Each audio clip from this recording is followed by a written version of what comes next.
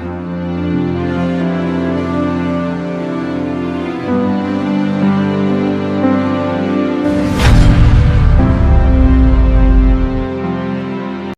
नाम डॉक्टर दीपक केड़कर है। मैं मनोविकार, सेक्स रोग सम्मोहन तथा व्यसन मुक्ति तज्ञ हूँ। महाराष्ट्र में अकोला में प्रैक्टिस करता हूँ। आज मैं आपको बताने वाला हूँ कि लोगों को रिज़ल्ट जो मिलते नहीं हैं तो उसका क्या कारण है? लोग बोलते हैं कि हमने बहुत काम किया, बहुत काम किया, बहुत हम कर रहे, सोच रहे प्लानिंग कर रहे, ये कर रहे, वो कर रहे, मगर रिज़ल्ट नहीं मिल रहे। एक्चुअली होता क्या है कि लोग एक कुछ ठहराते कि ये मेरा गोल है, मुझे ये करने का है।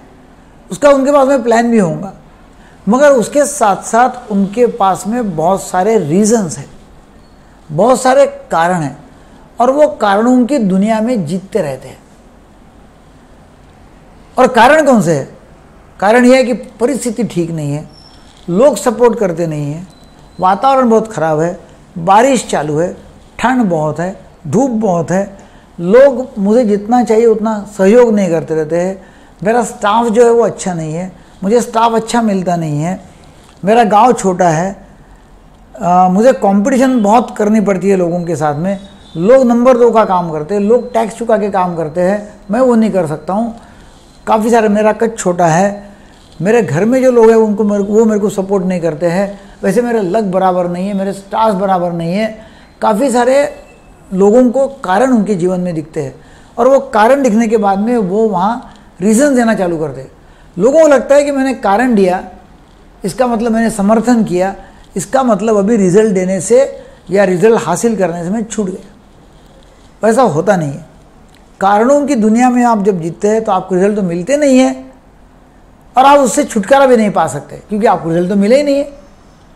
यदि आपको रिज़ल्ट चाहिए तो आपको ये कारणों से आप जब स्टॉप हो जाते हो, जब आप ये कारणों से रुक जाते हो, जब आप कारण कारण सामने रख के कोई एक्शन लेना बंद करते हो, वहाँ आपको मौजूद रहने का है। वहाँ को एक एक्नॉलेज करने का है। वहाँ देखना है कि अरे मैं कारण दे रहा हूँ, मैं कारण दे के यहाँ स्टॉप हो गया हूँ। क्या एक कारण के ऊपर मैं मात कर सकता हूँ? या क्या एक कारण को मैं दूर कर सकता हूँ? कौन सी मैं एक्शन ले सकता हूँ यहाँ ताकि मुझे रिज़ल्ट मिलेगा?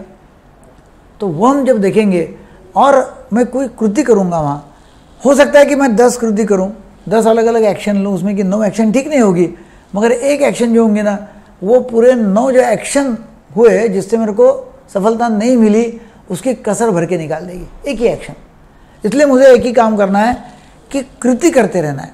और जब मैं कृति करूँगा, कुछ ना कुछ एक्शन लूँगा, गीता में भी तो यही बोला है कर्मण्यवादी का रास्ते माँ फलेशु कदाचना। कर्म करो, फल की चिंता मत करो। तो मेरे को कर्म करते जाना है एक्शन लेते जाना है। और मुझे वो दुनिया वो दुनिया में जाना ही नहीं है। और वो कौन सी दुनिया है? कि वो दुनिया है स्टॉप होने की। वो दुनिया है रुकने की। वो दुनिया है कारण देने की। और वो कारण देने की दुनिया में जाना ही नहीं है। मुझे वही दुनिया में काम करना है कि जो दुनिया में मैं कंटिन्यूसली एक्शन लेते रहूँ। और वही यदि मैं एक्शन लेता हूँ तो मुझे सफलता जो चाह वो मुझे मिल सकता है, जो चाहूँगा मुझे मिलेगा। और कोई भी कोई भी एरिया में, कोई भी मेरा संकल्प होगा, कोई मेरा गोल होगा, उसमें मुझे रिज़ल्ट मिलना ही मिलना ही है, मिलने वाला ही है।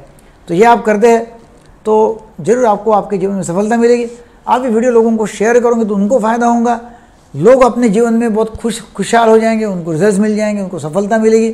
तो ज़्यादा से ज़्यादा लोगों को ये शेयर करो सब्सक्राइब करो लाइक करो and thanks you for watching the video thanks